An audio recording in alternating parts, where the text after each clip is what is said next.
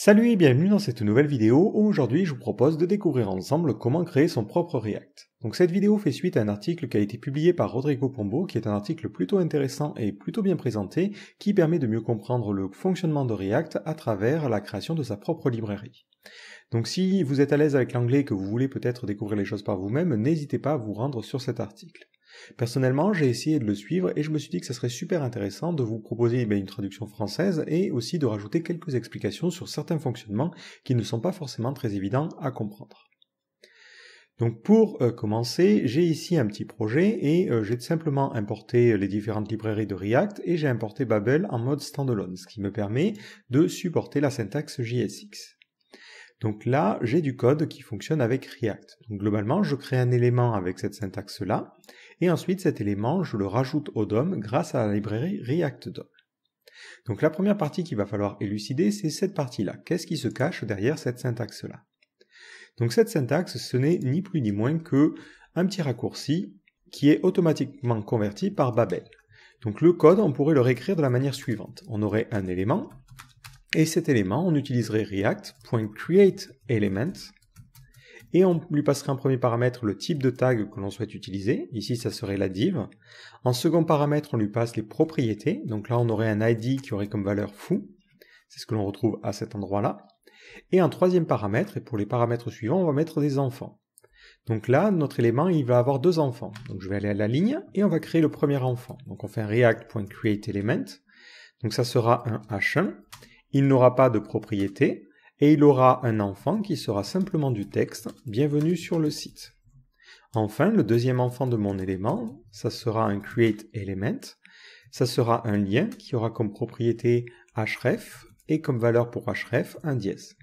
Et on mettra comme enfant en savoir plus. Donc ça, c'est ce que fait automatiquement le JSX. Il convertit votre code avec cette syntaxe-là. Évidemment, elle n'est pas très évidente à, écrire si on s'imagine avoir une grosse structure HTML. Donc c'est pour ça que c'est intéressant d'avoir cette syntaxe-là.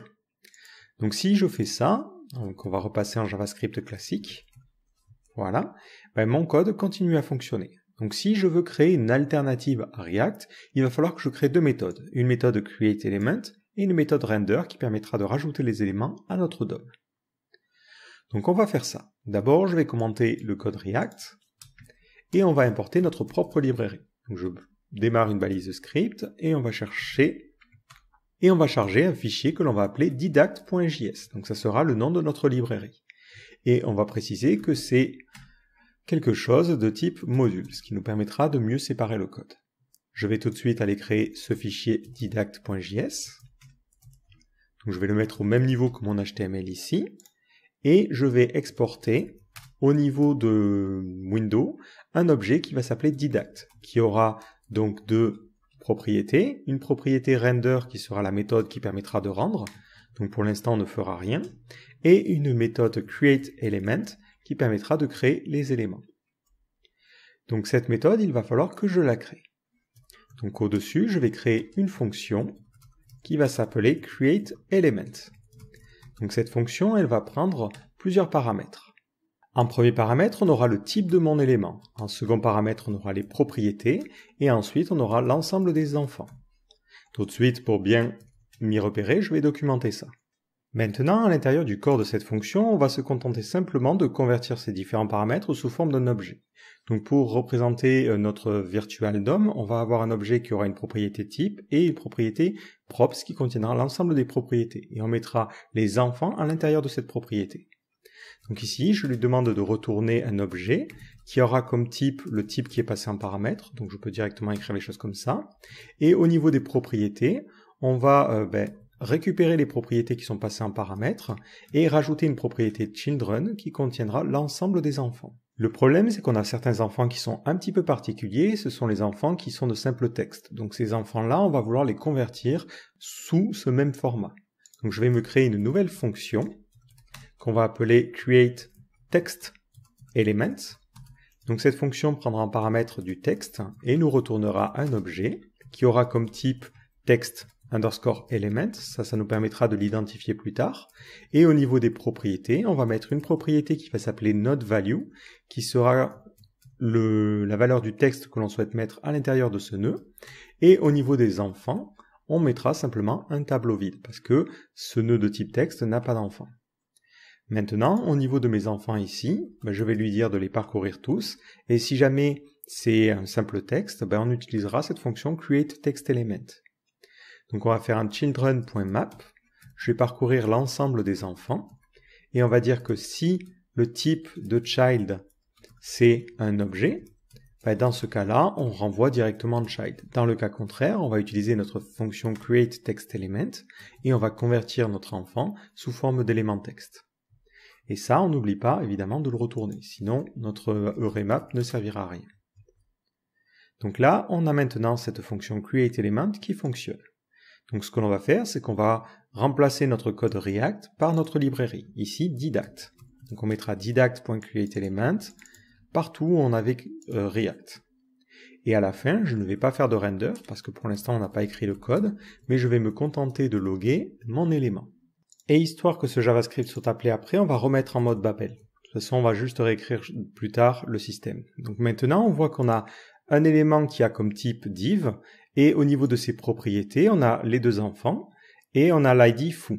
Si je regarde les enfants, on retrouve bien notre type h1 et notre type a qui lui-même va avoir une propriété href, mais aussi un enfant qui sera un nœud de type texte. Donc là, on a construit notre arbre grâce à la méthode createElement. Maintenant, on va pouvoir passer à la partie render. Donc on va commenter ça, on va faire didact.render pour utiliser notre fameuse librairie et euh, on va pouvoir continuer à utiliser du JSX si on écrit les choses de la manière suivante. Donc là, j'écris un élément, si je laisse Babel essayer de convertir le code, il va convertir par des react.createElement, mais je peux mettre un petit commentaire en mettant JSX et je lui dirai attention, quand tu vois du JSX, utilise plutôt didact.createElement. Et automatiquement comme ça, Babel va convertir les choses et il va bien convertir ça sous forme de virtual DOM avec notre méthode. D'ailleurs, pour mieux séparer le code, je vais séparer ça dans des modules. Donc je vais copier ce code-là, hop, et on va faire un import. On va importer create element from et on va créer un nouveau dossier que l'on va appeler didact et on va mettre vdom.js. Donc toutes les méthodes qui ont attrait au virtual DOM, on va les mettre dans ce dossier-là. Donc je crée ce dossier-là, je crée ce fichier-là et je vais exporter à l'intérieur ma fonction. Comme ça, ça me permettra de mieux séparer euh, notre petit code. Et je vais en profiter pour bien commenter les choses impeccable. Donc je vais revenir sur mon didact.js et mon createElement maintenant est directement injecté. Donc on va créer notre fameuse fonction render. Donc on est parti, on crée notre fonction render. Elle prend en premier paramètre un élément qui sera un élément du virtual DOM et en second paramètre le container, c'est-à-dire l'élément dans le DOM sur lequel on souhaite rajouter notre code. Je commente directement les choses. Et ensuite, on va pouvoir créer le contenu. Donc, je vais créer une constante que je vais appeler DOM qui sera l'élément. Donc, je vais faire un document.createElement et je vais créer un élément en me basant sur le type. Donc si le type c'est div, ben, on va créer une div. Si le type c'est a, on va créer un lien et ainsi de suite, ainsi de suite. Donc là, on va récupérer sur notre élément la propriété type. Ensuite, on va prendre notre container et on va lui dire il faut que tu ajoutes un enfant et tu vas ajouter ce nouvel élément que je viens de créer. Donc là, par défaut, ça va simplement pour l'instant, au niveau de notre élément qui a l'id root dans notre body, créer une div qui va être vide. Donc pour que ça fonctionne, il faut évidemment que je remplace mon forRender ici par la fonction render que j'ai créée. Et on voit bien que cette div se crée. Maintenant, il faut créer les enfants. Donc là, on va faire un petit peu de récursivité. Donc on va prendre notre élément, on va chercher ses propriétés et on va chercher la propriété children. Pour chacun des enfants, mais ce que l'on va faire, c'est qu'on va lui demander d'appeler récursivement cette fonction. Sauf que là, on ne va pas ajouter les enfants au container, mais on les ajoutera à l'élément DOM que l'on vient de créer précédemment. Si je réactualise, on voit bien qu'ici, on a notre div, on a notre h1 avec un text element, parce que pour l'instant, on n'a pas géré ce cas-là, et ensuite, on a notre lien. Donc il y a un petit cas particulier, c'est le cas où notre type est de type TextElement. Donc dans ce cas-là, il ne faudra pas faire un createElement, mais il faudra faire un createTextNode. Donc on va mettre une petite condition. Donc on va lui dire si le type de l'élément est égal à text underscore element, dans ce cas-là, on fera un document.createTextNode et on lui donnera comme valeur element.props.node.value. C'est la valeur du texte que l'on doit mettre à l'intérieur. Dans le cas contraire, on fera un document.createElement et on crée notre élément. Donc on le voit, on récupère maintenant notre structure HTML. Mais le problème, c'est qu'il nous manque les propriétés. Donc pour les propriétés, on va parcourir l'ensemble des propriétés de notre élément. Donc on fait element.props et on va lui dire que pour chacune de ces propriétés, on va lancer une fonction qui prendra en paramètre le nom de la propriété. Si le nom est différent de children, parce que cette propriété, on ne veut pas l'injecter dans le DOM, hein, on veut injecter ID, href et autres, mais on ne veut pas injecter children, mais dans ce cas-là, on fera un DOM, on lui dira de changer l'index qui correspond à la propriété, et on récupérera la valeur en faisant element.props, et on récupère la valeur. Donc ça, ça va nous permettre de rajouter le dernier petit truc qui nous manquait, l'id dans le cas de la div et le href au niveau du lien. Donc là, on a une fonction qui est capable de rendre notre arbre au niveau du DOM. Donc ça fonctionne, mais le souci c'est que si jamais on s'imagine qu'on a un arbre qui est très très très très grand, euh, le temps qu'il va euh, passer à faire cette fonction de manière récursive, ben, notre navigateur va être complètement bloqué. Donc le problème c'est que si on est en train de rendre une sidebar ou de rendre un composant qui n'est pas forcément important, ça va complètement bloquer l'interface pour l'utilisateur et empêcher le navigateur de faire quoi que ce soit. Donc on va devoir concevoir un autre système pour cette partie-là. Mais avant de le faire, on va faire un petit commit, histoire de se souvenir des différents changements que l'on a fait. Comme ça, ceux qui téléchargeront le code pourront accéder aux différentes étapes. Donc je vais rajouter les différentes choses et je vais faire un git commit-m et on va l'appeler fit render. Pour éviter de bloquer l'interface, on va utiliser un système de planificateur. Donc c'est scheduler en anglais, c'est un système euh, qui va recevoir une tâche, qui va la faire et ensuite pouvoir lancer la tâche suivante. L'avantage c'est que euh, ce planificateur va pouvoir laisser d'autres choses se faire entre deux tâches et permettra de ne pas bloquer le navigateur. Dans le cas de React, ils utilisent un planificateur qu'ils ont créé eux-mêmes. Donc nous, on va partir sur quelque chose de plus simple et on va utiliser la fonction request idle callback. Donc c'est une méthode qui mémorise une fonction qui sera appelée lorsque le navigateur n'aura aucune tâche en cours. Donc ça veut dire que si le navigateur est en train de faire d'autres choses, ben notre planificateur ne fera rien. Donc ça permettra d'éviter de bloquer euh, complètement l'interface.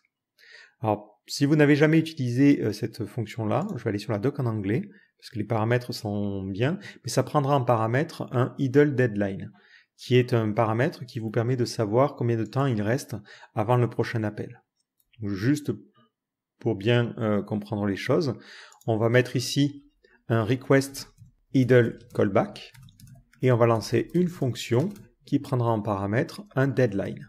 Donc c'est ce fameux objet de type idle deadline. Donc là je vais le commenter, je sais pas s'il va l'accepter. Ouais non, tant pis on va le laisser là temporairement. Et à l'intérieur je fais un console.log deadline.time remaining. Donc ça, c'est une fonction qui va me donner le temps restant pour faire la prochaine opération. Donc si je fais un console.log, on voit ici, il y avait 5 millisecondes. Donc l'avantage, c'est qu'on va pouvoir appeler cette fonction en boucle et lui dire, bah, bah, s'il y a suffisamment de temps, tu vas pouvoir continuer. Donc je vais créer une nouvelle fonction qui va s'appeler work loop, qui sera notre boucle de travail, et elle prendra en paramètre deadline. Là, je vais en profiter pour bien commenter les choses. Là, il acceptera. Hein. Hop qu'on va lui dire que ça, c'est un paramètre de type idle deadline. Bon, apparemment, mon IDE, il n'est pas au courant que ça existe, mais c'est pas bien grave. Et à l'intérieur, je vais faire mon petit console.log, et la petite particularité, c'est que je vais pouvoir lui dire de continuer à appeler les choses. Donc je vais pouvoir lui dire à la fin de cette fonction, ben, la prochaine fois que tu as du temps, je veux que tu continues à appeler cette boucle. Et dans ce cas-là, cette fonction-là, je vais la remplacer par un appel à workloop ceci. Et dans ce cas-là, on voit effectivement que c'est appelé en boucle avec du temps restant. Donc si le navigateur est en train de faire quelque chose, comme par exemple là on le voit, je bouge ma souris, on voit qu'il y a moins de temps. Donc ça nous permettra de bien contrôler les choses. je vais commenter ce console.log, sinon ça va pas arrêter de défiler, ça va être pénible. Donc ce qu'il va nous falloir faire, c'est créer une variable qui permettra de connaître la prochaine tâche à effectuer. Donc cette variable, on va l'appeler next unit of work. Alors la plupart des noms des variables et des méthodes, ils ne sont pas choisis ici au hasard, ils sont choisis parce que ils correspondent en fait à l'intérieur de React. Donc si vous regardez du code source de React, vous allez retrouver la même terminologie. Donc là, on va choisir la même terminologie que React pour que euh, vous puissiez euh, faire des analogies si nécessaire. Maintenant, à l'intérieur de notre fonction workloop, on va euh, créer une première variable qui sera un booléen, qui sera should et qui aura comme valeur false.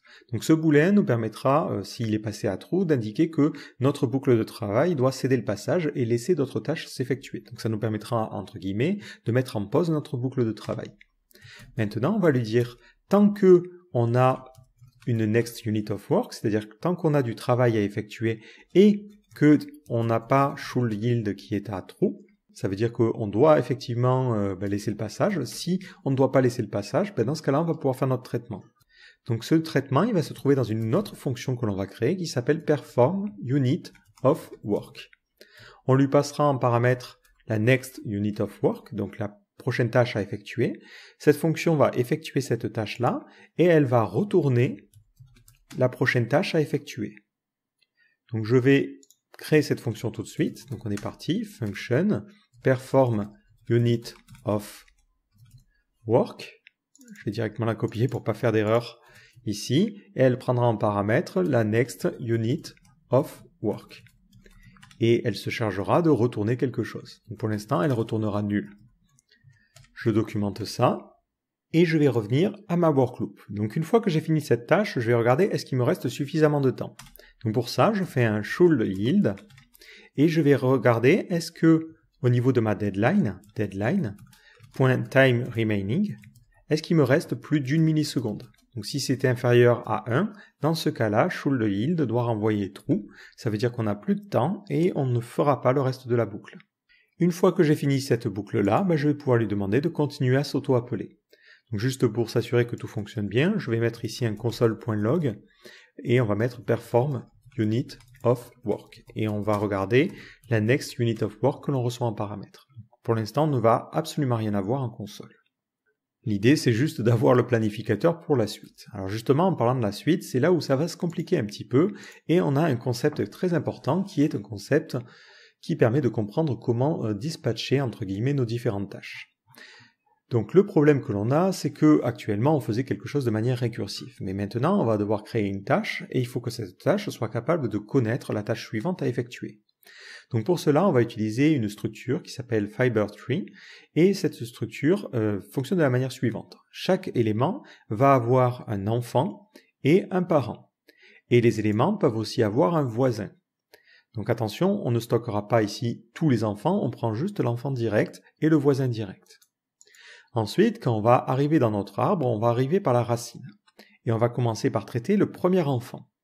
Une fois que l'on a traité cet enfant, on va regarder s'il a un enfant. S'il a un enfant, on va passer au traitement de l'enfant suivant.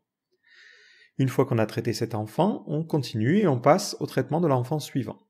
Une fois qu'on a traité cet élément, on regarde s'il a un enfant. Ah, il n'en a pas, donc dans ce cas-là, on va au voisin. On traite le voisin et on regarde s'il a un enfant. Non, il n'a pas d'enfant. On regarde s'il a un voisin. Non, il n'a pas de voisin. Dans ce cas-là, on remonte au voisin du parent. Donc on remonte au parent, on prend le voisin et on continue, on continue, on continue. Ensuite, on re-remonte jusqu'à réarriver à la racine.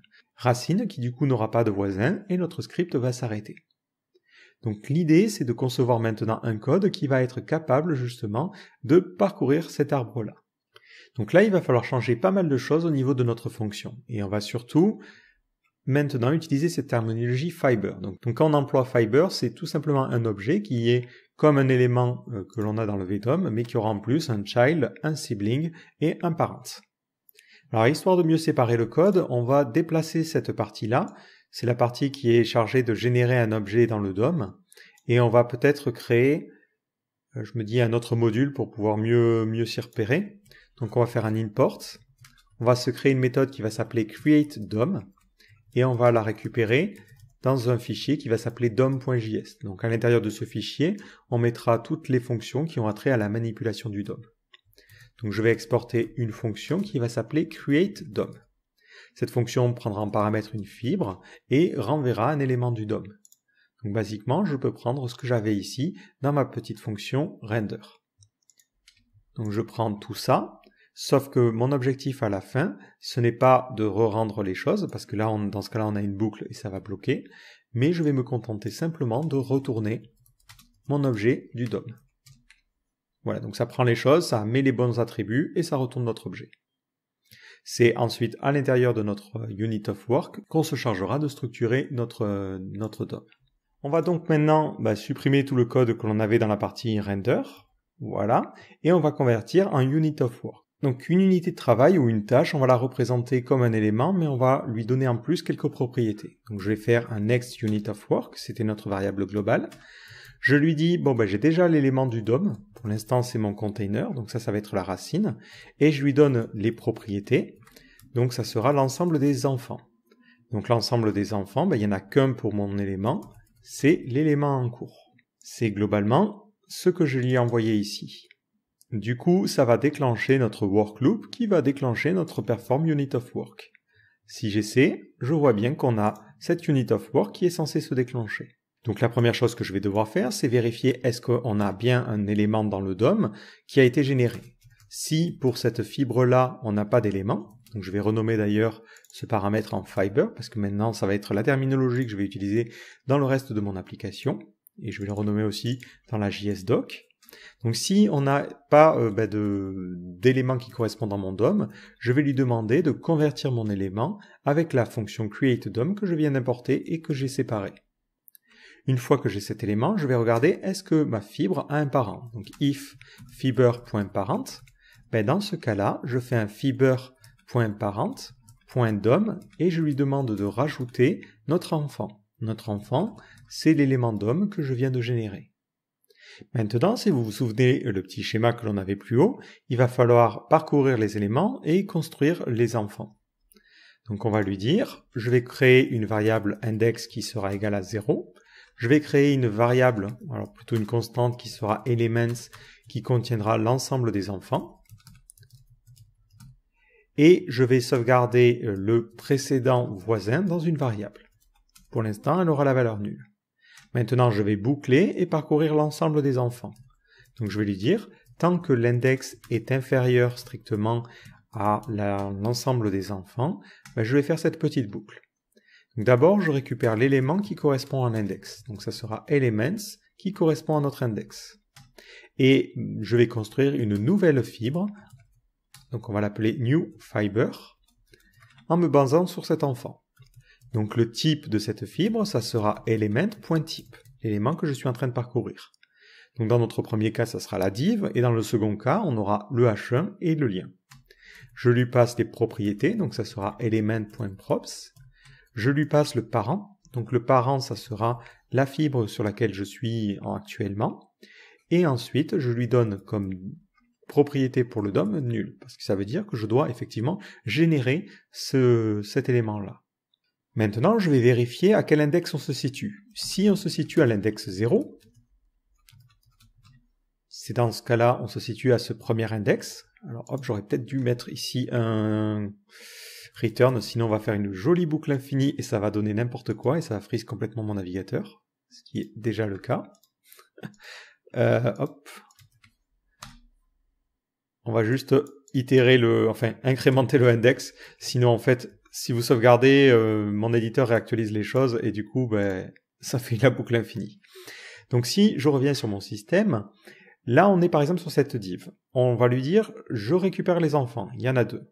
Je parcours l'ensemble des enfants. Le premier enfant, il va falloir que je dise, bon ben cet élément-là, c'est le child de cet élément-là. Donc ça, cette div, c'est ma fibre actuelle, et ça, c'est mon élément. Donc ici, je lui dis, si l'index est égal à 0, je prends ma fibre actuelle, fiber, et je lui dis que l'enfant, c'est cette nouvelle fibre. Maintenant, dans le cas où on est à l'index 1, ben, il faut que je lui dise ben, cet euh, élément-là, son sibling, c'est mon nouvel élément. Donc ça veut dire que je dois sauvegarder à chaque fois que j'itère le précédent voisin. Donc je vais sauvegarder le précédent voisin, et on va lui dire que si on n'est pas à l'index 0, le prev sibling, je lui mets comme valeur de voisin l'élément que je suis en train de créer. Et on va faire tout de suite une petite pause parce que ça c'est très très important de bien comprendre comment ça fonctionne. Et je vais faire un console.log de fiber à la fin. Et on va mettre un fiber juste ici. Comme ceci. Donc lorsque je sauvegarde, on voit qu'on a cette unit of work qui a été effectuée et on retrouve notre fibre. Donc on a notre élément racine qui est la div id root. Je regarde, on a bien un child. Donc là, on n'a qu'un seul enfant. C'est l'élément qui a l'ID fou et qui était notre div.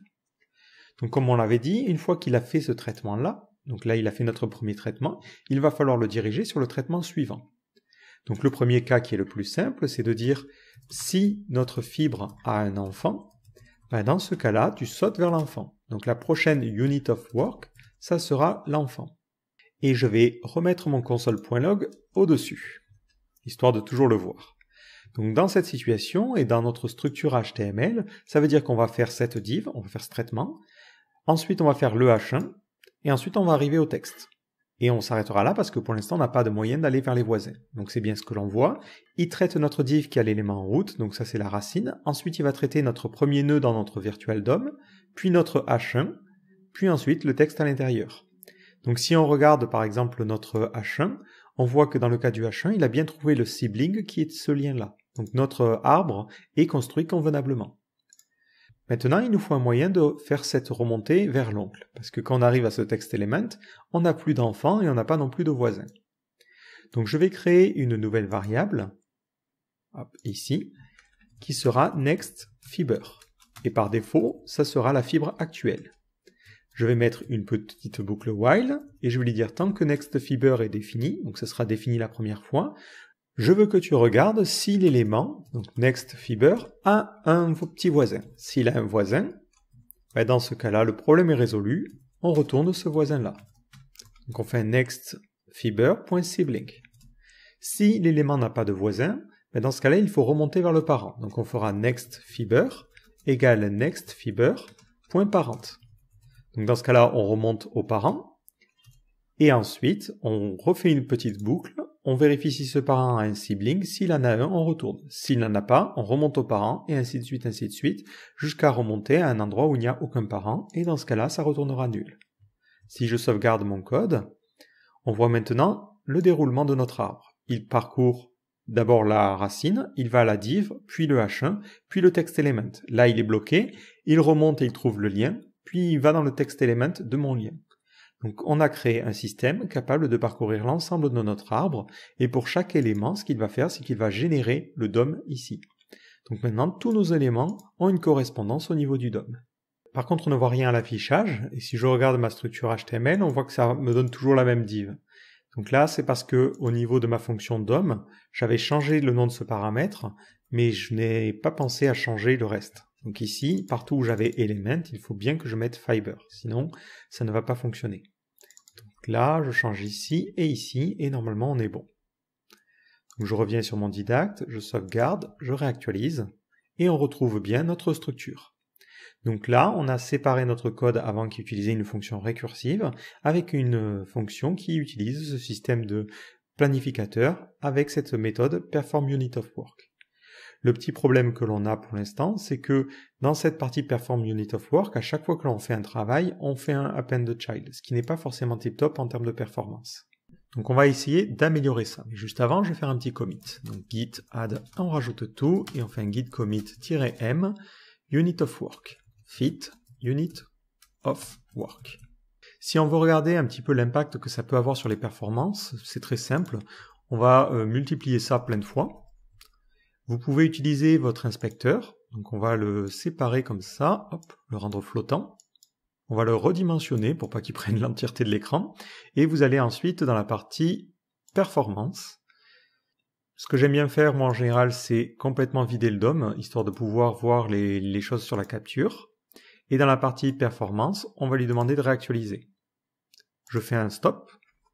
Donc ensuite, ça nous donne ce petit graphe, alors qu'il paraît hyper compliqué. Je vais juste, hop, agrandir pour qu'on s'y repère un petit peu plus. Donc nous, ce qui nous intéresse, c'est pas forcément tout le début où il a généré la page, mais c'est plutôt la partie où il génère tout notre DOM. Donc c'est cette partie-là, on voit qu'il y a une grosse pique, et on retrouve l'appel à nos différentes fonctions. Donc on voit que par exemple, pour performer, pour gérer notre unit of work, il a fallu 6 millisecondes. Et on voit qu'il fait plein de append child, ce qui est pas forcément tip top. Donc là, on va chercher à optimiser ça. Et en fait, l'idée, c'est qu'il va générer tous les éléments, mais on ne va pas lui demander de faire un append child dans la partie unit of work. On va lui dire, une fois que tu as fini de travailler, dans ce cas-là, je veux que tu commites cet arbre et que tu appliques notre arbre à notre DOM. pour ça, je vais revenir au niveau de mon didact.js et on va retirer cette partie-là. Donc c'était la partie qui n'était pas forcément tip-top. Dans ce cas-là, ça veut dire qu'on doit mémoriser la racine actuelle sur laquelle on est en train de travailler. Donc je vais créer une nouvelle variable qui va s'appeler work in progress route. Et par défaut, ça aura comme valeur nulle. Lorsque je démarre mon render, c'est ça ma racine. Racine qui sert aussi de next unit of work. Donc là, je vais lui dire de mettre dans work in progress route cette racine-là, et ensuite je lui dis de faire un next unit of work égale work in progress route. Maintenant, dans ma partie boucle, donc c'était au niveau de ma work loop, donc on va faire work loop. Ça commence à être gros, donc n'hésitez pas à utiliser l'éditeur pour naviguer plus rapidement. Et on va lui dire que bah, si on n'a pas de next unit of work, on n'a pas de travail à effectuer, et on a un work in progress route, c'est-à-dire qu'on a un élément racine qui est en cours de travail, je veux que tu fasses un commit route. Ça veut dire que tu vas prendre notre arbre, tu vas le parcourir et tu vas pouvoir créer justement l'élément dans le DOM. Donc je vais créer cette fonction au-dessus de render. Donc on est parti, function commit route et c'est une fonction qui va ajouter notre arbre au niveau du DOM. Cette fonction va faire tout un travail et une fois qu'elle aura fini, elle va définir work in progress route à nul. Vu que l'on doit parcourir un arbre qui est potentiellement très très grand, on va utiliser une fonction récursive. Donc on va faire un commit work et on va lui passer l'enfant de notre racine actuelle. Donc gardez toujours en mémoire le petit schéma que l'on a ici, hein, c'est très important. Je crée cette fonction commit work qui prendra donc en paramètre une fibre. Gardez aussi en mémoire cette terminologie. Donc d'abord, on va vérifier est-ce que cette fibre existe, parce que quand on va arriver au bout de l'arbre, euh, child n'existera pas, donc ça lui enverra cette fonction undefined. Donc si jamais on n'a rien, ben on s'abstient de faire quoi que ce soit et on retourne. Par contre, on va récupérer maintenant l'élément du DOM parent. Donc on prend notre fibre, on prend le parent et on récupère son élément dans le DOM. Sur ce parent, on va tout simplement lui demander de rajouter comme enfant notre fibre actuelle. Donc c'est exactement le même code que l'on avait écrit. Maintenant, on doit faire ça de manière récursive. Donc on va lui dire, il faut que tu commites le travail pour l'élément qui est enfant à notre élément actuel mais il faut aussi que tu commites le travail pour l'élément qui est un voisin de notre élément actuel. Et ça, ça permettra de faire la même chose. Sauf que ça groupera toute la partie qui se charge de manipuler le DOM. Donc en termes de performance, ça sera meilleur. je vais essayer de ressortir le petit schéma. Donc on va supprimer notre élément, on va repartir dans la partie performance, on va réactualiser. Je stoppe. Et c'est à peu près par ici. Hop, et dans ce cas-là, on voit qu'il y a les perform unit of work qui sont appelés, mais euh, on a le commit route qui ne se fait qu'à la fin, et c'est qu'à la fin qui fait le append child, et du coup que le navigateur doit interagir pour modifier notre DOM. L'avantage, c'est que maintenant, on va pouvoir aussi gérer un cas un petit peu plus complexe. C'est le cas où il y a des éléments qui sont supprimés. Donc c'est ce qui est intéressant avec React, c'est que le virtual DOM peut évoluer avec le temps. Donc ce que l'on va faire, c'est qu'on va se créer au niveau de notre index.html, une nouvelle structure. On va lui dire, attends un petit moment. Donc on va faire un window.set timeout. Tu vas lancer une nouvelle fonction au bout d'environ deux secondes, on va dire. Au bout de deux secondes, je veux que tu refasses exactement le même code que celui que tu as écrit ici, mais que tu changes la structure. Par exemple, on ne veut plus le H1 et on veut simplement un lien. Donc ça, je vais le sauvegarder dans une variable que je vais appeler element et cet élément, je veux que tu le rajoutes à la même racine. Si je réactualise, ce qui va se passer, c'est tout simplement qu'il va re-rajouter notre élément, alors que dans le cadre de React, on s'attendrait plutôt à ce qu'il remplace. Donc dans ce cas-là, on va devoir créer un système de réconciliation qui va être capable de comparer les deux arbres et d'effectuer les bonnes opérations en fonction de la situation. Alors juste avant, je me dis que ça pourrait être intéressant de commit. Voilà. Donc la dernière chose que l'on avait fait, c'était le commit route. Donc là on va mettre fit, commit, phase. Afin de pouvoir comparer les arbres, ben, il va falloir sauvegarder en mémoire la version précédente de l'arbre. Donc on va créer une nouvelle variable qui va s'appeler courante route, qui sera la valeur courante de notre arbre. Et à chaque fois, on l'écrasera au fur et à mesure. Donc lorsque je lui dis je veux que tu commites la racine et que tu commites les changements, une fois que tu as fini la transformation, je veux que tu sauvegardes dans courante notre arbre en cours de travail. Comme ça, la prochaine fois, ben, je pourrai comparer les choses. Maintenant, dans notre fonction render, pour mon élément euh, work in progress que je suis en train de générer, je vais lui donner une nouvelle propriété qui va s'appeler alternate et qui sera le courant. Donc alternate, si vous voulez, c'est une référence à l'arbre précédent. Ça nous permettra ensuite dans la partie Perform Unit of Work de pouvoir parcourir en parallèle le nouvel arbre et l'ancien arbre et pouvoir comparer s'il y a des changements. Je vais replier un petit peu tout ça et on va venir au niveau de notre Perform Unit of Work. Donc dans cette partie-là, on avait une petite boucle qui nous permettait de parcourir les enfants, de créer les nouvelles fibres et de créer notre structure. Donc cette petite boucle, je vais aller la séparer dans une fonction.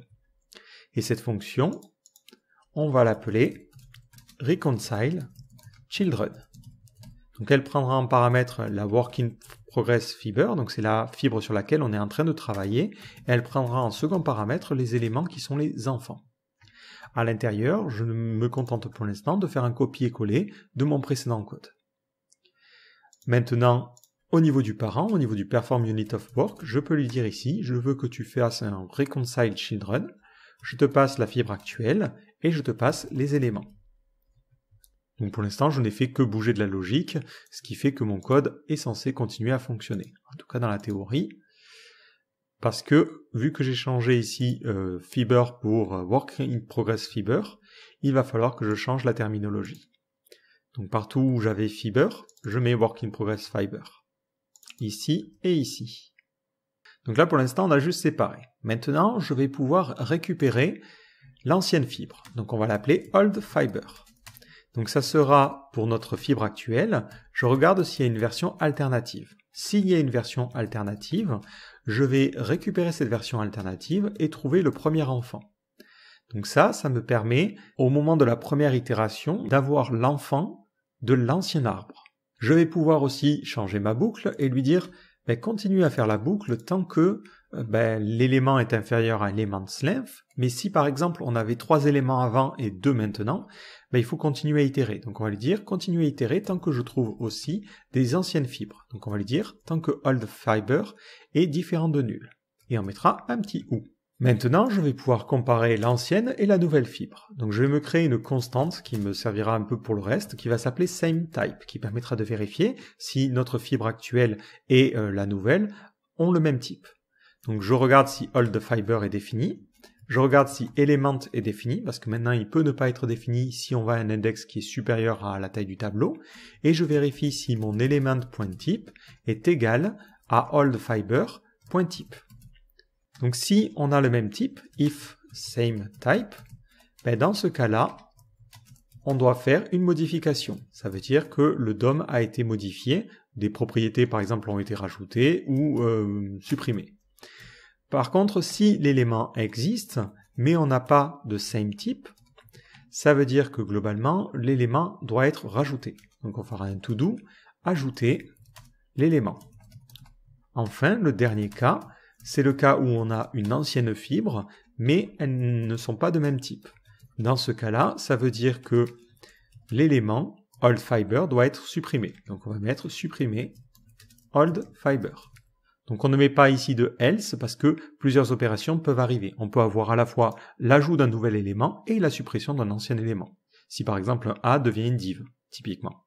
Donc pour chacun de ces scénarios, je vais créer une fibre qui sera légèrement différente. Donc plutôt que de créer une constante, je vais créer une variable qui va s'appeler newFiber et qui sera égale à nul par défaut. Donc dans le cas de la modification, je peux récupérer ce code-là et le mettre ici. Donc le type, ça sera le type de l'élément. Les props, ça sera les props de l'élément. Le parent, ça sera bien le work in progress fiber. Le DOM, pas besoin de le régénérer, parce que l'élément, lui, n'a pas changé. Donc je vais lui dire, ben, récupère sur l'ancienne fibre le DOM. Ensuite, je sauvegarde la version alternative. Donc la version alternative, c'est l'ancienne fibre. Donc ça, ça sera utile pour le reste de l'exécution. Et enfin, je rajoute une propriété que je vais appeler effect tag qui permettra de savoir quel effet je dois appliquer à cet élément. Donc là, je lui dis, on est dans le, cadre d'une modification. Donc dans le cas d'un ajout de l'élément, c'est un peu le même principe. Le type, on met element.type, les props, on met element.props. Le parent, ça sera le work in progress fiber. Par contre, on n'aura pas de DOM parce que c'est un nouvel élément.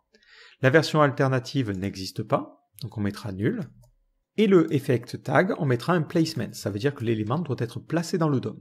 Enfin, dans la dernière des situations, ben, on ne veut pas rajouter un élément, donc on ne va pas retourner une nouvelle fibre, mais on fera un oldfiber.effectTag et on lui ajoutera comme tag deletion pour dire cet élément doit partir en suppression. Et on va aussi créer un tableau qui permettra de mémoriser les éléments qui doivent être mis en suppression. Donc ce tableau n'existe pas et je vais aller le créer tout en haut. Donc on va faire un let deletions et on va dire que c'est un tableau vide. De la même manière, lorsque l'on a un appel à render qui va être fait, ben dans ce cas-là, je vais lui dire, ah, c'est pas ici, c'est à cet endroit-là, je vais lui dire de réinitialiser le tableau des suppressions à effectuer. Maintenant, on va pouvoir modifier le commit route. Donc avant de lui demander de faire les différents travaux qu'il a à faire, on va lui dire parcours l'ensemble des éléments qui sont en attente de suppression, et pour chacun de ces éléments, je veux que tu fasses un commit work, que tu commites le travail. L'autre changement que je vais devoir effectuer, c'est ce fameux commit work. Parce que maintenant, ben, on peut avoir des suppressions ou des modifications. Donc le premier cas qui est le cas le plus simple, c'est le cas où on a un placement. Ça veut dire qu'on doit rajouter l'élément. Donc on va lui dire if fiber.effectTag est égal à placement. Et en plus, on n'a pas le DOM qui est à nul.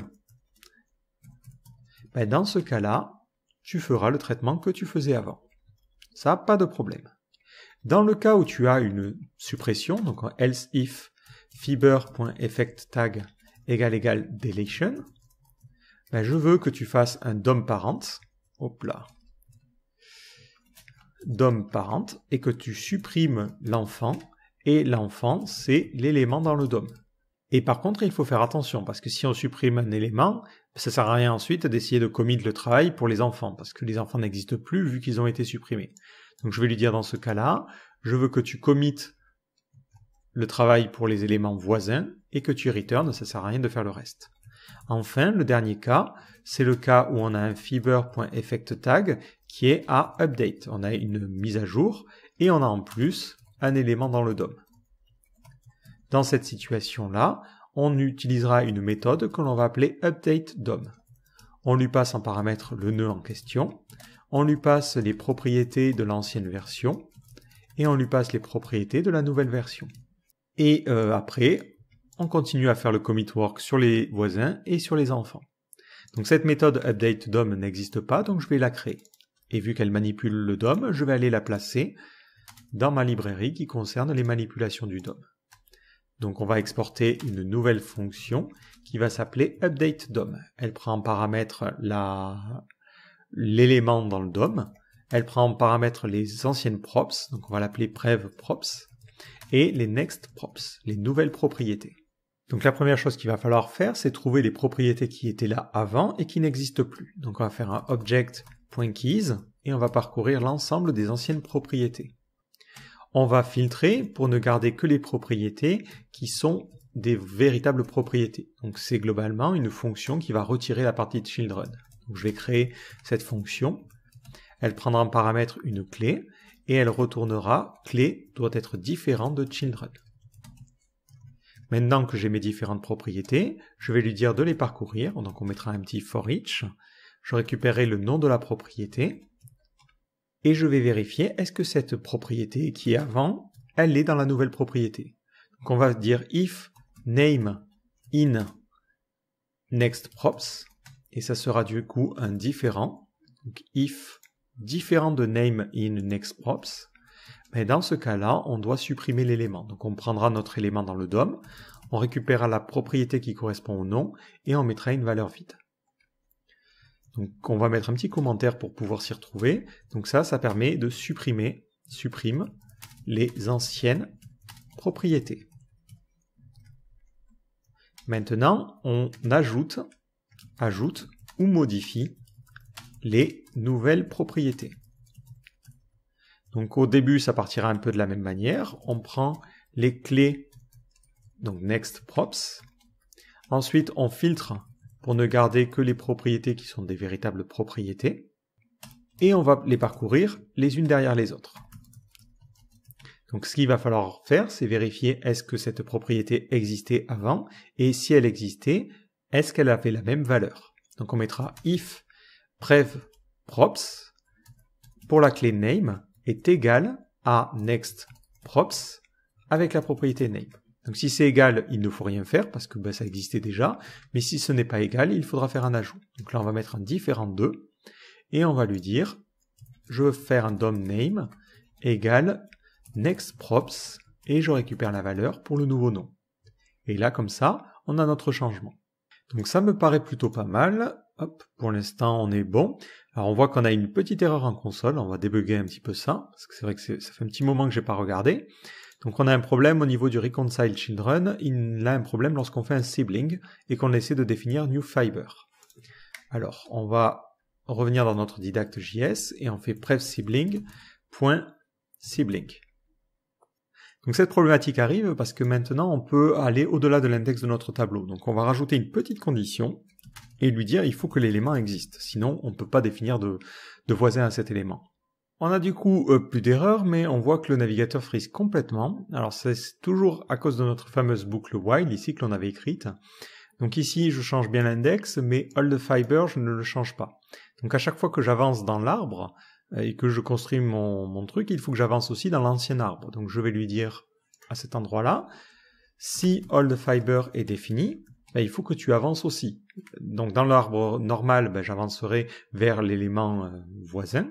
Ben, dans l'ancien arbre, ben, je fais la même chose. Je vais lui dire the fiber égale the fiber point sibling. Comme ça, ça permettra d'avancer aussi. Donc je vais couper cette page-là parce qu'elle est complètement plantée et je vais aller réouvrir dans un nouvel onglet. Donc on le voit, l'élément est bien supprimé. Par contre, on a une autre erreur en console parce qu'il n'arrive pas à faire un remove child.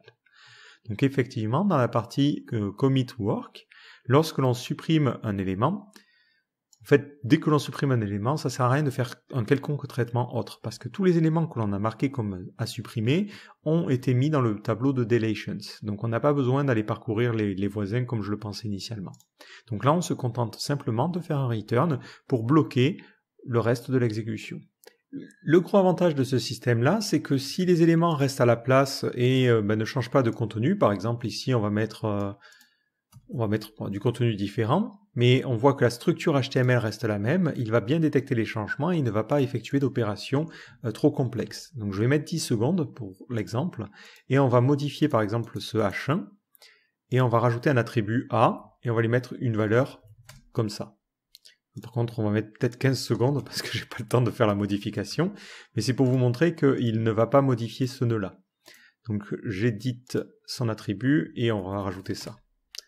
Donc là, j'ai rajouté son attribut, on va attendre 15 secondes, il va effectuer la modification, et on voit que cet attribut n'a pas été modifié. Il a bien fait une comparaison, et il a détecté qu'il ne fallait échanger que l'intérieur de cet élément, et pas le reste. Donc c'est ça qui va être très efficace avec cette librairie. Alors après, euh, dans le cadre de React, ça va beaucoup plus loin parce qu'on a la possibilité de mettre des clés. Là, typiquement, si vous faites quelque chose comme ça, euh, ben, notre système va détecter un changement complet de l'arbre et va supprimer cet élément et supprimer cet élément pour ensuite rajouter cet élément parce qu'ils n'ont pas la même position. Mais dans le cas de React, on a la possibilité d'utiliser des clés, ce qui permet ensuite de mieux comprendre le fonctionnement et de déplacer les éléments. Mais nous, évidemment, on va pas aller aussi loin que ça. Mais là, vous voyez, on a déjà une bonne librairie pour la partie euh, Virtual DOM.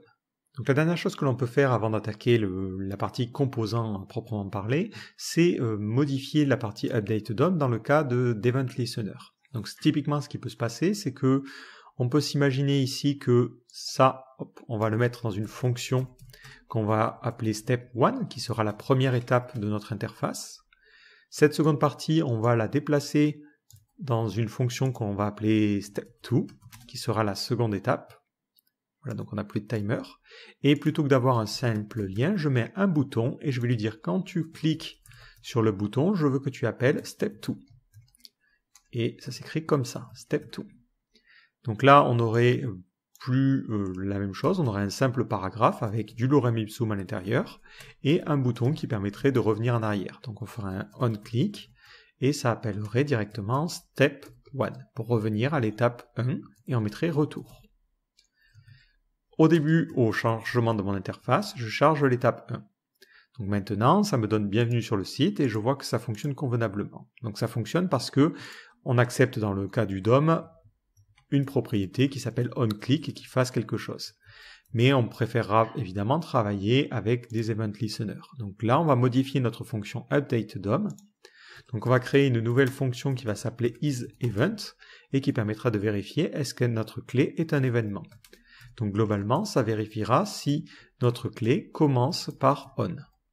Maintenant, dans cette partie-là où je supprime les anciennes propriétés, je vais vérifier est-ce que c'est un événement. Donc if is event ma propriété name, ben dans ce cas-là, on appliquera un traitement qui est différent.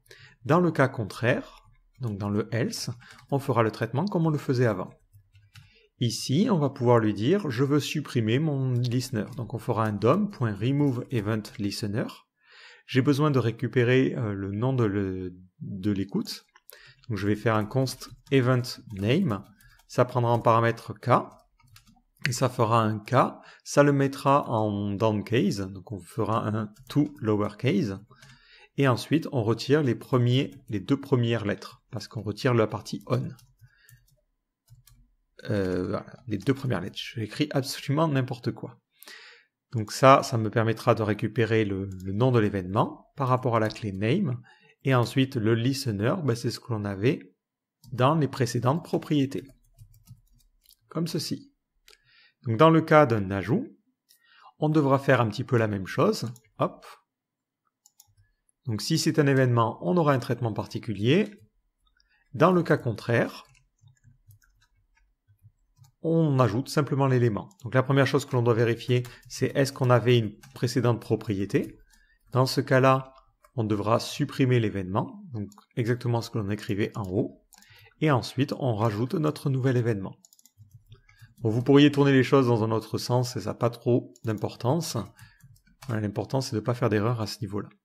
Donc maintenant, si je réactualise ma page, je clique sur en savoir plus et retour et ça fonctionne convenablement. Si vous voulez vous assurer que vous n'appelez pas les fonctions pour rien, euh, vous pourriez au niveau de step 1 et step 2 mettre des console.log step 1. Et là, on aurait un step 2.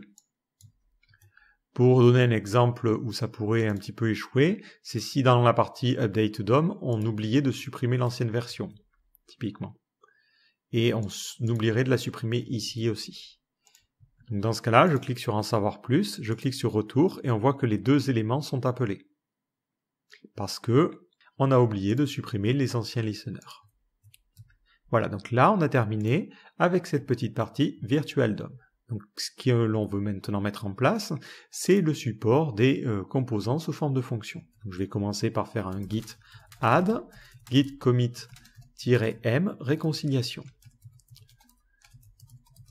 Donc là, on a rajouté la partie qui gère justement la, modification et la suppression du DOM. Donc le problème, c'est qu'en vrai, quand on fait du React, on est capable de créer des composants qui englobent leur propre logique. On aurait par exemple une fonction compteur qui prendra en paramètre des propriétés. Donc nous, on aurait une propriété name qui serait le nom de la personne et ça retournerait un h1 avec marqué bonjour suivi du nom de la personne, comme ceci. Ce composant, une fois qu'on en a créé, ben on se dit, tiens, j'aimerais bien le mettre à la place de ce H1. Donc on peut le faire très simplement, comme ceci. On lui passerait le nom de la personne, ça serait John, et ensuite on ferme. Plus tard, on verra comment injecter du state à ce niveau-là pour pouvoir faire évoluer notre compteur avec le temps, évidemment. Donc le souci que l'on va avoir, c'est que maintenant, au niveau de notre perform unit of work, dans la partie didact.js, on se retrouve avec des types d'éléments qui ne sont pas forcément des éléments de DOM et qui par conséquent n'ont pas forcément d'enfant direct. Donc c'est ce que l'on retrouve ici dans notre petite erreur. On va devoir du coup séparer ça en deux fonctions.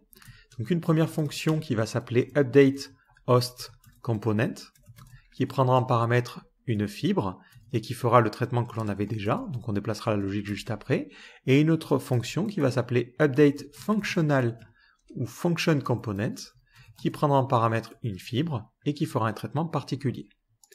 Donc dans cette partie update host component, on va déplacer toute cette partie-là, tout, tout, tout, tout, et on va aller la mettre à cet endroit-là.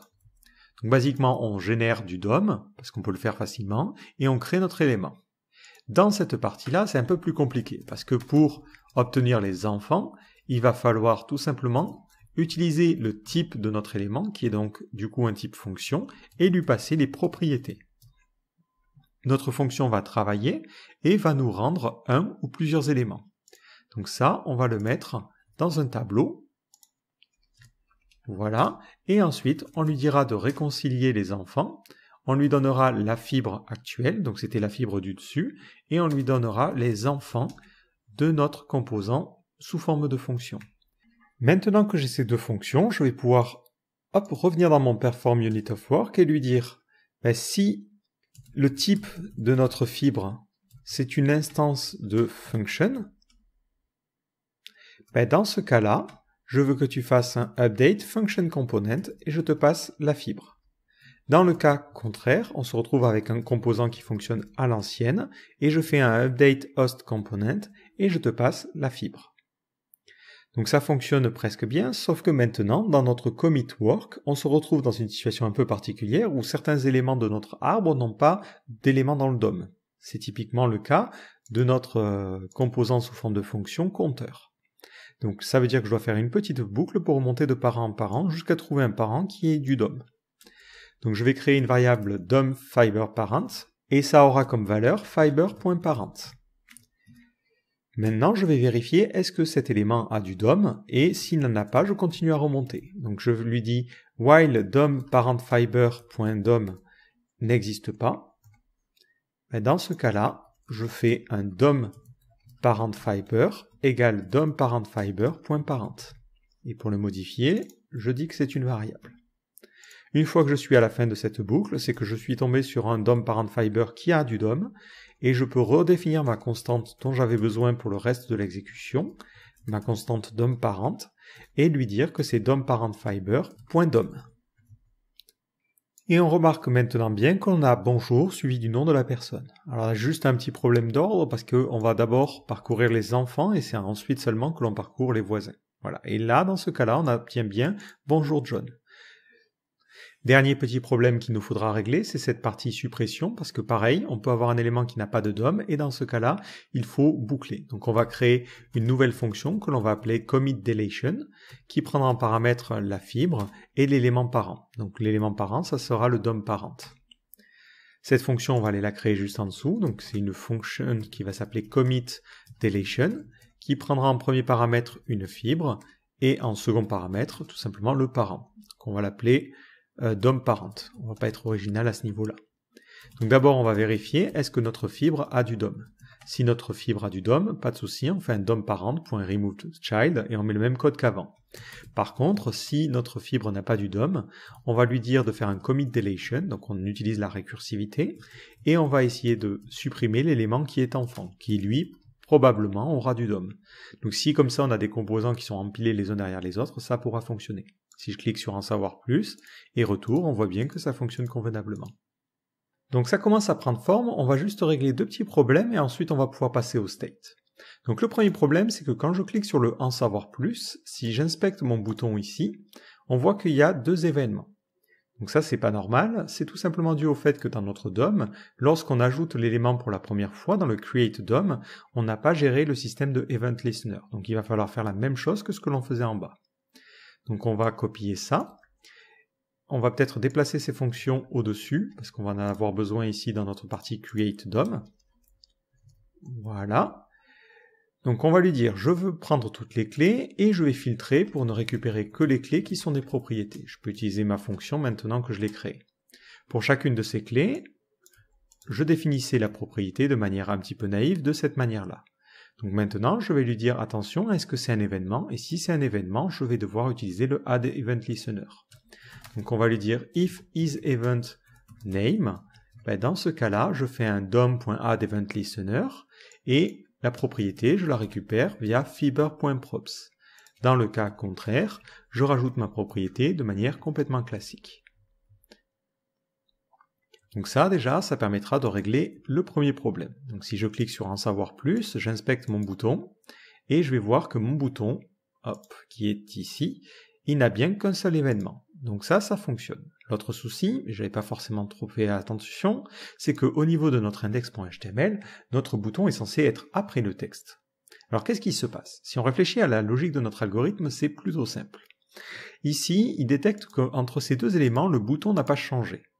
Donc vu que le bouton n'a pas changé, lorsque on applique le commit euh, root et le commit work plus précisément, il fait un update DOM. Ce qui fonctionne bien, mais le problème c'est que derrière il va faire un append child pour rajouter le h1 et du coup l'ordre ne va plus être respecté. Donc ce que l'on va faire, c'est qu'on va lui dire de faire un append child, ce qui aura pour effet simplement de déplacer mon élément comme ceci. Donc je ferai un DOM_PARENT.AppendChild fiber.dom et ça va déplacer mon élément pour qu'il aille se placer au bon endroit. Et dans ce cas-là, on obtient bien le comportement original. Autre petite remarque, vous pouvez aussi, quand j'y réfléchis, optimiser un petit peu ce code-là et lui dire, bon bah à la fin, plutôt que de t'embêter à refaire ce code-là, tu vas faire un update DOM. Je vais te passer en premier paramètre le DOM, donc c'est l'élément que je viens de créer.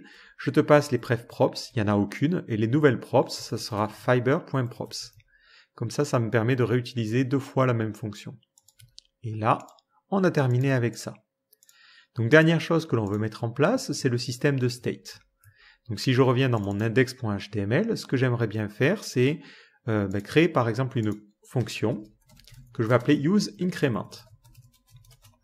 Cette fonction, elle créerait un state. Donc elle créerait un nombre n, en utilisant useState, que je vais aller créer sur Didact, et je lui donne comme valeur initiale 0. Ce hook-là va renvoyer deux choses. Il va renvoyer n d'une part, effectivement, mais aussi setN, la fonction qui permettra de changer sa valeur. Je vais créer une fonction qui va s'appeler increment et qui permettra d'incrémenter n. Donc ça sera une fonction qui, lorsqu'elle sera appelée, fera setN de n plus 1 et à la fin, je return un tableau contenant n, la valeur, et incrémente ma fonction. Dans ma partie compteur ici, je vais créer et utiliser ce hook, donc je vais créer une constante qui va s'appeler n et increment, et je ferai un use increment. Ensuite, je vais mettre une structure HTML légèrement différente, donc on va créer une div ici, on mettra compteur, suivi du numéro du compteur. Ça sera n, et on créera un bouton, et lorsque l'on cliquera sur le bouton, ça appellera une fonction qui appellera la fonction increment. Et on mettra incrémenter. Voilà l'objectif de mon composant. Il doit contenir l'ensemble de sa logique. Donc pour l'instant, si j'essaie ça, ben, je vais avoir un, un problème parce qu'il ne connaît pas la méthode useState. Je vais peut-être juste avant commit. Alors c'était quoi le dernier commit que l'on avait fait? C'était la partie réconciliation.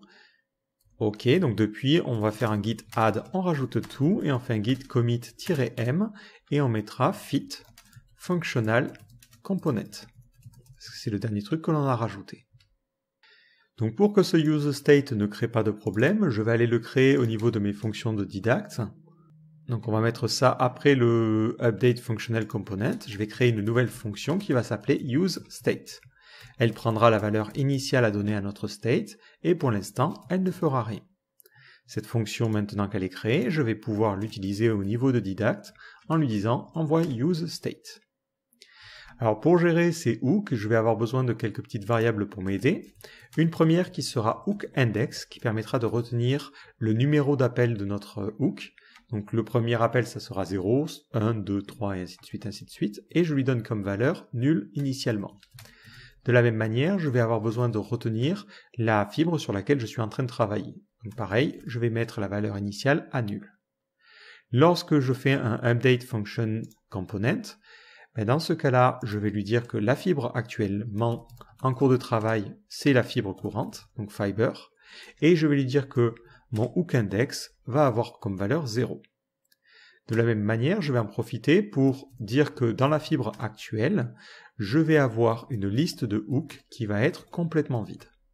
Maintenant, dès que je vois un appel à useState, c'est un appel qui va être fait dans cette boucle-là, je vais pouvoir rajouter mes hooks. Mais il faudra faire attention parce que je peux me retrouver avec une ancienne version de la fibre qui a elle-même un hook. Donc je vais créer une constante qui va s'appeler holdHook et je vais vérifier si sur ma fibre actuelle, Work in Progress Fiber, j'ai un ancien nœud. Si j'ai un ancien nœud, je regarde est-ce qu'il a des hooks? Donc Working Progress Fiber.alternate.hooks. Et s'il a des hooks, je regarde est-ce qu'il a un hook qui correspond à l'index courant? Donc ça, ça va me permettre de retrouver euh, l'ancien hook s'il y en avait un. Maintenant, je vais créer une constante qui va s'appeler hook et qui sera notre hook actuel. Et je vais lui donner comme propriété state. Cette propriété sera l'état de mon hook. Donc par défaut, c'est la valeur initiale, mais si jamais j'ai retrouvé un ancien hook, je récupère la valeur de l'ancien hook. Donc si on a un ancien hook, je lui donne la valeur du state de l'ancien hook, mais dans le cas contraire, je lui donne comme valeur initiale. Maintenant, je peux prendre ma fibre actuelle et lui dire dans mon tableau de hook, je veux que tu rajoutes ce nouveau hook. Et en plus, tu vas incrémenter le hook index pour, si jamais il y a plusieurs hooks, que le hook suivant puisse être appelé. Et à la fin, je return hook.state. Mais je vais aussi devoir retourner une fonction qui permettra de modifier la valeur du hook. Pour l'instant, je retourne une simple fonction vide. Donc si je regarde, ça me donne bien compteur à 0. Mais quand j'incrémente, il faudrait que ça fasse effectivement un petit changement. Donc je vais créer une nouvelle fonction ici. Donc ça sera une fonction qui va s'appeler setState et qui prendra en paramètre la valeur à appliquer. Donc je vais appeler state. Cette fonction, je peux ensuite la retourner en second paramètre, setState.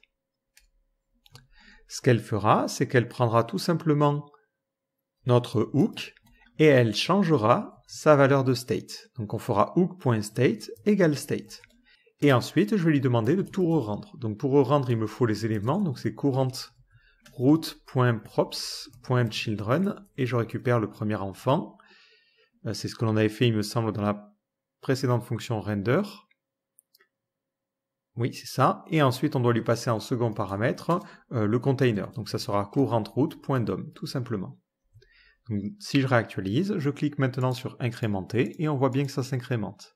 L'avantage, c'est qu'il n'altère pas les autres nœuds. Si par exemple je venais à changer le texte ici, et si je clique sur incrémenter, on voit qu'il ne modifie le DOM que pour cette partie compteur. de la même manière, euh, je pense qu'il sépare le texte en deux nœuds.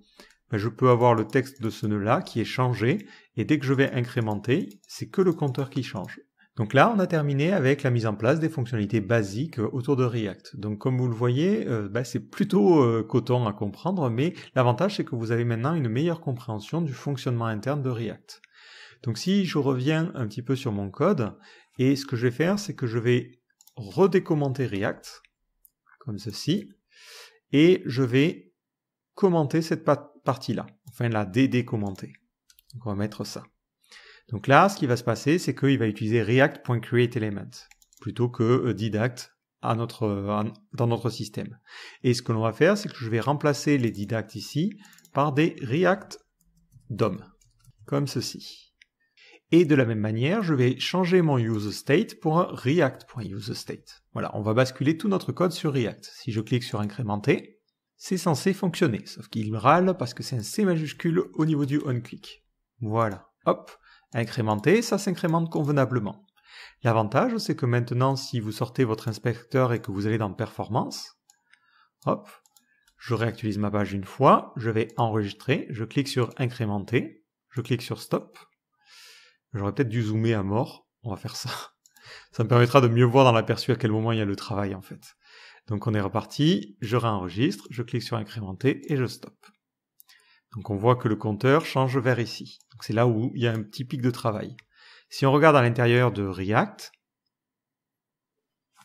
mais qu'est-ce qu'on remarque? On remarque ici qu'on a bien notre work loop, on a notre perform work qui correspond à ce que l'on avait écrit, on a nos euh, commit routes, donc ça c'est exactement bah, le code que l'on a écrit, et vous retrouvez un petit peu la même logique. Alors effectivement, c'est un petit peu plus complexe parce que bah, c'est React, quand même il y a beaucoup plus de travail et d'optimisation, mais vous retrouvez la même logique. Donc avec ce tutoriel, j'espère que ça vous permettra de mieux comprendre l'intérieur de, de React. On voit aussi qu'il y a de Create Fiber, du Fiber Node, donc on retrouve vraiment la même logique, en plus complexe évidemment. Donc j'espère que cette vidéo vous a plu. Donc je vous mettrai le code source en téléchargement en bas de ce tutoriel, mais sachez que vous avez aussi accès au code source de l'article sur le dépôt de Rodrigo, donc c'est euh, Didacte directement. Donc j'ai noté quelques erreurs à la fois la première fois que j'ai regardé le tuto et au niveau de l'enregistrement. Donc j'essaie de faire des pull requests, mais basiquement vous devriez retrouver la même logique que celle que l'on a écrit dans cette vidéo. Il y a quelques petits trucs qui changent, mais le principe général reste le même. Donc j'espère que cette vidéo vous a plu et que vous n'êtes pas endormi devant, et que vous n'êtes pas complètement cassé la tête, et je vous donne rendez-vous dans une prochaine vidéo. Ciao